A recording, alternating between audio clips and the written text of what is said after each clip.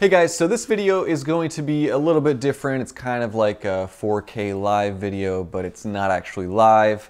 Um, anyway, Sony announced the a6400 last week. Interesting announcement, uh, a lot of thoughts of my own, but I figured in this video what I wanted to do was go through kind of a Q&A with questions from you guys. So I have, I think five or six pages of questions. I'm just gonna go through one by one read them, and then answer them. Actually, before I jump into the questions, I guess it would probably be a good idea to go over kind of what the announcement entailed. For those of you who may have not been paying attention or missed it, really you can summarize it by naming five points. The first thing that the new a6400 has is continuous eye autofocus which is awesome for portraits. It's something that even Sony's higher end cameras like the a7 III doesn't even have. Then it has um, object tracking. So again, the autofocus, the two main areas of improvement are related to autofocus on this new camera. So it has a really good object focusing system. So excited to check that out and see what that's all about. Third thing is the A6400 does have a flip out screen which is why all of the vloggers out there are going nuts. The fourth thing, Sony says the color science is improved, so you're gonna get more natural skin tones with photos. And in video, not only do you get better skin tones and colors, but you also get HLG, which is another color grading, um, kind of like S-Log, but better.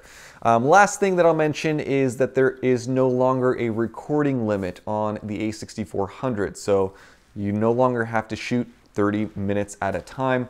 You can shoot unlimited, and according to those who have gotten their hands on the pre-production versions of these cameras, apparently the battery life is better and it does not overheat um, anywhere near as quickly as the A6000, A6500, A6300, etc. Um, so that is pretty much it, the gist of the overview. I know that many people were disappointed, many people were excited, uh, but let's jump into the questions. Let's start with the first one, which is, I guess not really a question. Surprised Sony didn't invite you to the A6400 event. Yes, I am surprised as well. What's ironic is the same YouTubers who were yelling APS-C is dead were invited to the event and now they're saying that it's the best thing on the planet. Um, maybe next time. Sony. Next question. Hey, I have a question. I'm pre-ordering the new A6400. I like the spec, but there is no IBIS in body image stabilization. I am thinking of buying the Sigma 56, but it has no optical stabilization as well. Do you think I should buy the Sigma or not?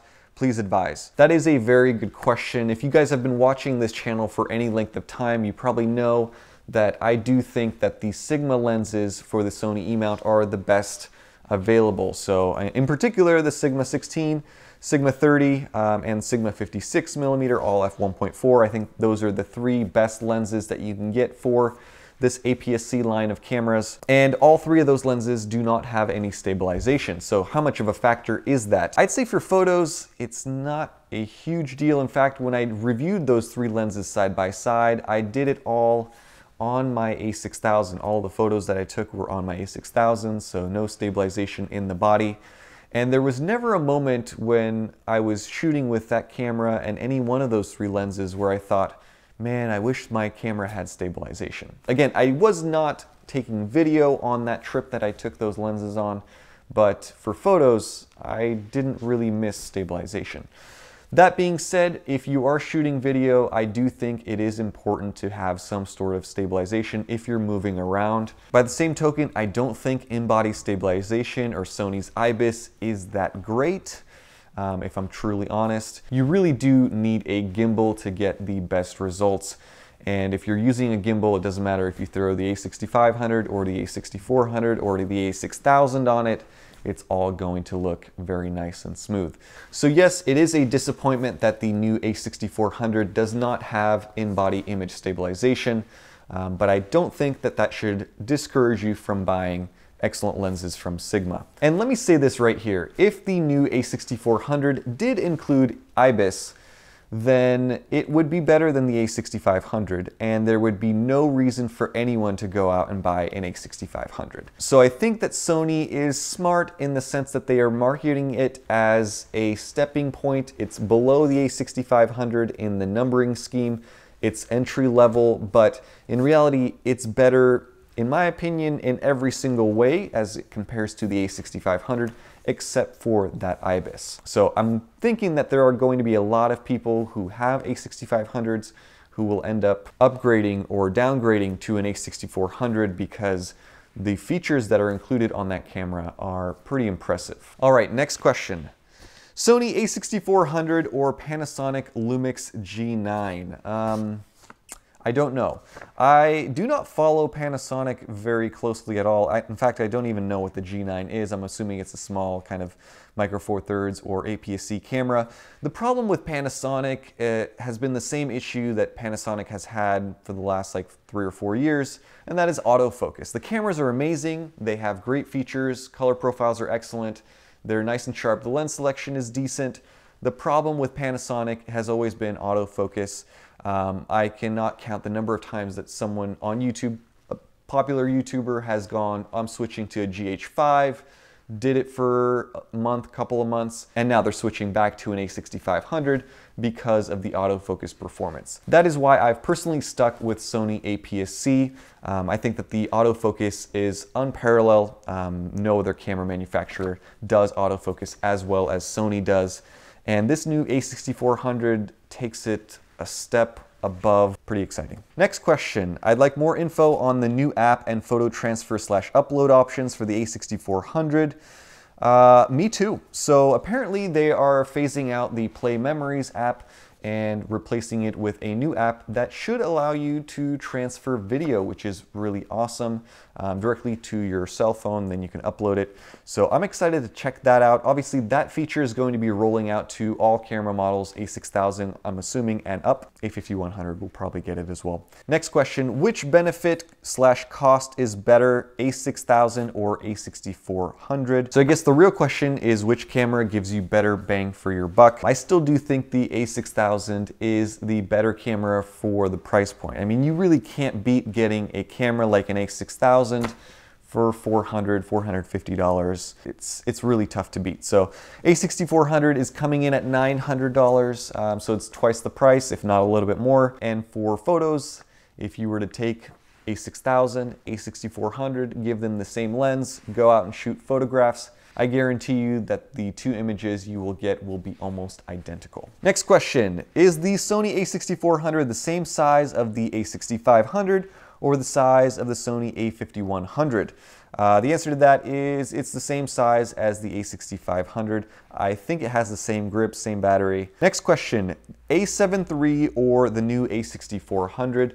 That's an interesting one. Um, if you were given the option of either one, I'm assuming that most of you would probably choose the a7 III. That's the one I would choose. It's a full frame camera. Um, you can't beat the sensor on the a7 III. That is what I think is my biggest disappointment with the a6400 is Sony releases a new camera, but the sensor is honestly the exact same thing that they've had for years and years and years now. So I was anticipating a new improved APS-C sensor, something that was an A7 III but scaled down, and that's not what the announcement was about. So um, when choosing between those two cameras, even though the A6400 may have some better eye autofocus tracking features, I still think the A7 III is going to be the better overall camera. Next question, how many C buttons are on the new A6400 and memory setups possible? Uh, so there are three on the A6500, two on the A6400. They did that on purpose because they probably didn't want to step on the sales of the Sony a6500. Next question, so will we see a a6700 or a totally new a7000 in the near future? That is the question of the year. I wish I could answer that one. The disappointing aspect of Sony announcing a new camera is that because they've just announced something new, they can, in theory, take their time and release something like the A6600 or A6700 maybe a year from now. Um, maybe we won't see it until 2020. Um, it would be exciting if they released it this year, but who knows? So I know that it's coming. I know that they will inevitably release something that is a follow-up to the A6500, something that's a step above that. Um, but who knows when that will happen. A6400, do you think Sony priced it right at $898, basically $900 um, for the body only? Or do you think not having image stabilization will hurt its sales? So I do think that the pricing is right now. The A6500 is sitting right around $1,200 right now, so it's $300 more. And if you buy an A6400 at $900, you're getting a camera that is better than the A6500. Again, I've said that in my opinion, it's better than the A6500 except for not having stabilization built into the camera body. I don't think that Sony needs to carry all of these camera lines. I mean, at some point you'd think that they're gonna chop off the A5100 or the A6000 and just kind of transition into only selling A6400, A6600, whatever it is, the, the new models. But Sony seems to like keeping the old models around for five years or more and continuing to sell them. So um, I don't know about that marketing strategy. Next question, not about the A6400, but what's your take on the A7000 and what is your realistic wish list for it, assuming it's something that you're looking forward to? Uh, your assumption is correct. Yes, I am looking forward to the replacement for the A6500. If I had three things on my wish list, number one would be an improved sensor, so something like the A7 III, but scaled down for APS-C. That would be amazing. Number two would be uh, the new battery. So instead of the tiny little MP50 batteries, maybe the bigger battery from the A7 III would be awesome. And number three would be 4K 60. That would be amazing. So that's just my personal wish list. You guys have another wish list, comment down below. Next question. Um, can you please do a comparison on the new A6400 and A6500? Yes, I'll do it. Um, by the way, I should have mentioned, I already pre-ordered the A6400. Um, if you guys are interested in pre-ordering it, I'll have a link down below. Um, I'm excited about it. I really am at the end of the day. It's, I think it's going to be a great camera. I think it's going to sell well. Um, so yes, once I get my hands on it, I will do a comparison. Next question, A6400 dot dot dot a joke dot dot dot Sony should make more APS-C good lenses and something like the Fujifilm X-T3. I guess that's not really a question, but I'm going to address it. I don't think the A6400 is a joke. I don't think it's the best thing in the world, but I don't think it's the worst either. I do agree that Sony should make more APS-C lenses, more good ones. Um, something like a fast walk around. Again, 16 to 50 f2. I mean, how long do we have to wait for that? And as far as Sony making something like the Fujifilm X-T3, the X-T3 is like a $2,200 camera with an APS-C sensor. If Sony came out with something like that for $2,300, everyone would be screaming at the top of their lungs because it would be way too expensive, but interesting idea, I suppose. Let's move on. Next question, sad that the A6400 does not have IBIS. What I have recognized sadly is that in real life the Sigma 1.4 lenses are pretty useless without any stabilization and bad focusing. I don't really agree with that. I guess it's not really a question either. Um, take a look at my Trifecta Trio Sigma review. All of those sample images that I took were done on my A6000 without any stabilization. I don't have the most steady hands in the world, but the lenses work perfectly fine without IBIS. Next question, is the A6400 better than an A6500? In my opinion, personally, looking at the specs, looking at um, the video and Sony release notes, I do think it is better, except for IBIS. Next question, does the new A6400 have better focus tracking or any new focus tracking options over the A6500? The answer is yes and yes, continuous eye autofocus object tracking. Basically the new A6400, the way that it works, the camera will focus on the eyes. If the subject turns, then it will focus on the face.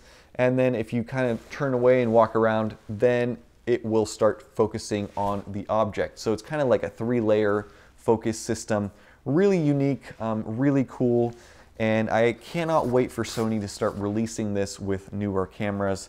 I think that it will start to become very difficult to take a blurry photograph with an autofocus like that. Um, as far as the second part of that question um, is also could these new features be made available to the A6500 through future firmware updates? In theory, yes, but I think that the processor on the new A6400 is a lot more efficient and more advanced.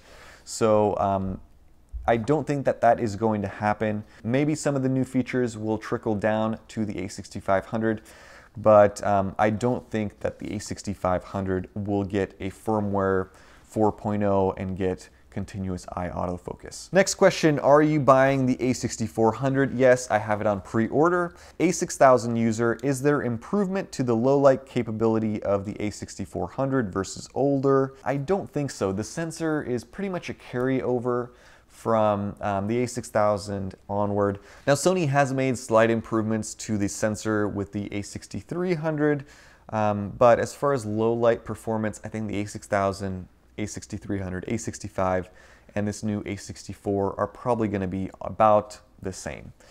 So I would not expect any huge differences in regards to low light abilities. Next question is kind of long, but I'll summarize. Uh, basically, the question is, would it benefit someone like me who owns an A6500 to switch to an A6400? And so we've talked about it through the course of this video a little bit. Um, obviously, the sensor is the same.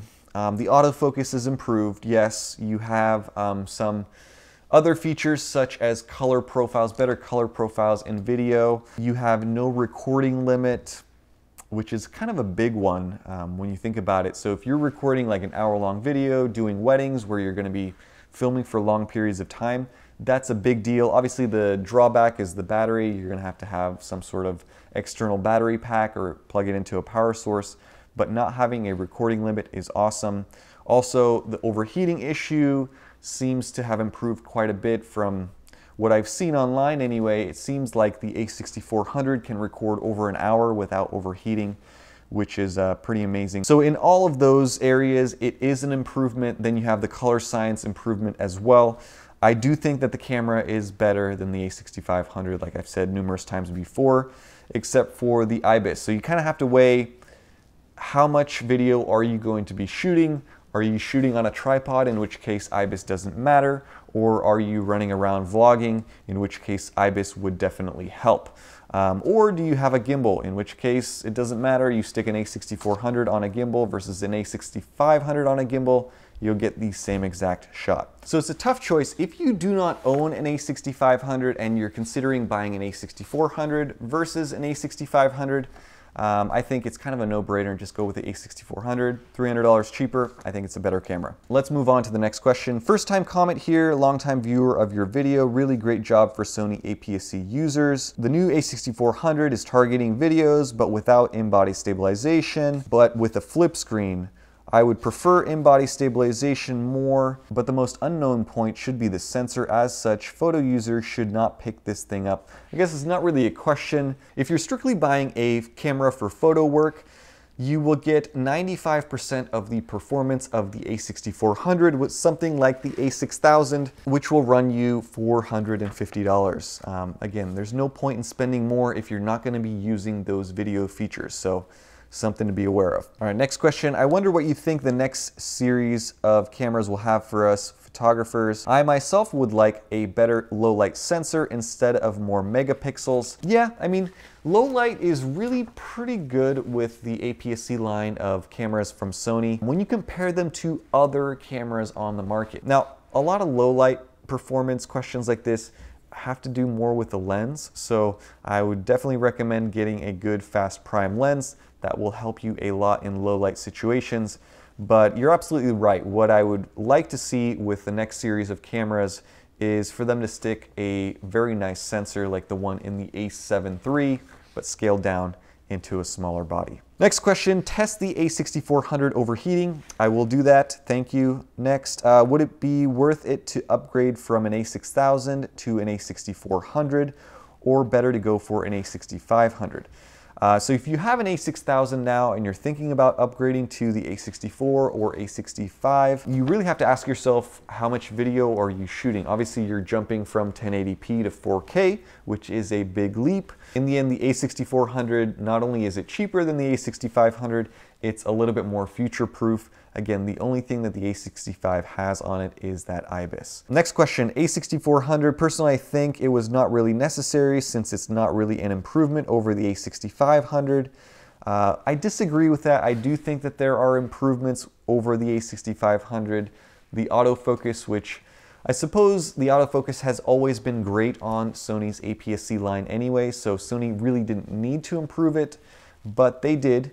And I do think that the continuous eye autofocus, the object tracking, is going to make a big difference, especially if you're shooting sports, like if you're doing like kids soccer games, um, any sort of sports photography, animals, wildlife, um, even portrait work. I mean, you really cannot beat the new autofocus system in the A6400. So it's a huge improvement.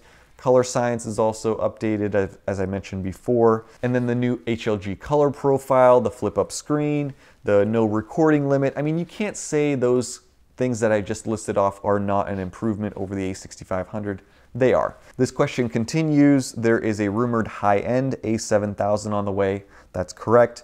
Wondering if Sony only did the A6400 to finally give us the long asked for flip screen because they might not have added a flip screen on the A7000 or the A6600 or the A6700.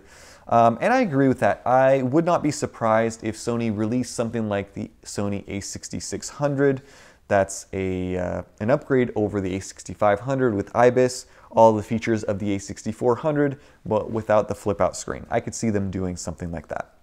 Next question, I have a Sony a6300. Is it worth upgrading to the a6400? That's a tough one. I do think it's worth it in some regards, only if you're using it for video. Again, if you're just taking photos with your a6300, keep it, do not upgrade. But if you are shooting a lot of video, you are going to see an improvement with the a6400. And the cool thing about Sony cameras is you could probably still sell your a6300 on the market for you know, $700, $650, $750, around that price range, at least here in the US. And then you'd spend, you know, $200 on an upgrade to the A6400, which I think for the features that you're getting is well worth the money. Next question, would you upgrade from an A6000 to an A6400 or wait for the rumored high-end APS-C camera? Uh, was pretty disappointed with the announcement yesterday. So again, it depends on what you're using it for. You really have to think about how you use your camera. If you're just taking photographs, this is not a reason for you to upgrade. Uh, unless you're doing a lot of sports photography or you're doing a lot of portrait work or you're doing nature shots where you can utilize the new features of the autofocus tracking system, then yes, maybe it is time to upgrade. If you're shooting a lot of video and you want the video capabilities of the new A6400, then um, that is certainly a good reason to upgrade. You also get a flip up screen, uh, no record limit, as I mentioned before. There are a lot of reasons to upgrade. And as far as waiting for the rumored high-end camera, that could take another year, could take another year and a half. Maybe it'll come out this year, um, in which case we'll see a whole bunch of A6400 cameras on the used market. Next question. I was planning on getting the Sony a63 and the Sigma 30 this month. I'm on a li limited budget. Should I wait and save more money to buy the a6400 or just stay with the a63? Um, if you're in that situation, you're probably spending, what, $700 for the a6300 versus 900 for the a64. Just get the a64. All of the additional features, it's well worth it. It's going to be more future proof. You'll be much happier with saving up $200 and getting the better camera versus cheaping out now and then regretting it later on. Is it better to have IBIS or have a flip out screen? That's a tough one. I mean, you know, most people are very much into recording themselves. Vlogging is kind of uh, the in thing right now on YouTube.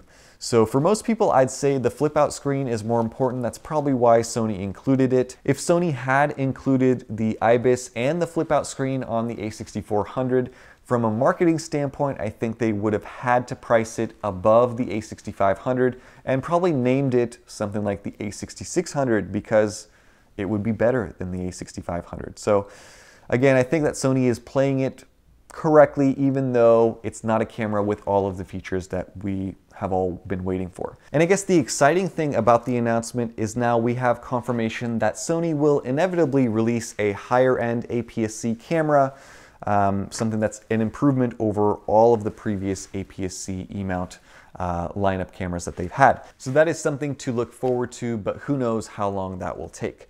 Uh, last question, any new lenses from Sony? No. they did not announce any new lenses, which is disappointing because we need new lenses. Come on, Sony, get it together. I am hoping that maybe this year Sony will announce something like a walk around fast f2.8 constant aperture zoom lens, something that you can replace your kit lens with, or maybe they should just upgrade the kit lens, the 16 to 50. I think it's time for an upgrade. That lens has been around for what, five, six years now? So anyway, as always, I will be reviewing new lenses as they come out on this channel. That is going to be it for this Q&A. Hopefully that was helpful for some of you. For those of you who submitted questions, thank you guys so much. Hopefully I got to your question and answered it. Um, if not, if you have any comments about the questions that I answered, any additional questions, comment down below. Um, the conversation will kind of continue. I'll respond to you. Really super excited to receive the a6400 at the end of February. So once it gets here, I will be posting a review and kind of first impressions of that camera. But overall, to summarize kind of this video and my personal thoughts on it, kind of disappointed in some ways, but also excited because it means that Sony has a lot up its sleeve and the fact that Sony is constantly innovating with new features like the focus tracking and continuous eye autofocus is a really awesome thing. They have not forgotten about us APS-C Sony users and APS-C is certainly nowhere near dead. Um, so that is it for me. Thank you guys so much. As always, thanks for all of your likes, comments, and support. Stay tuned for more and have a nice day. Bye-bye.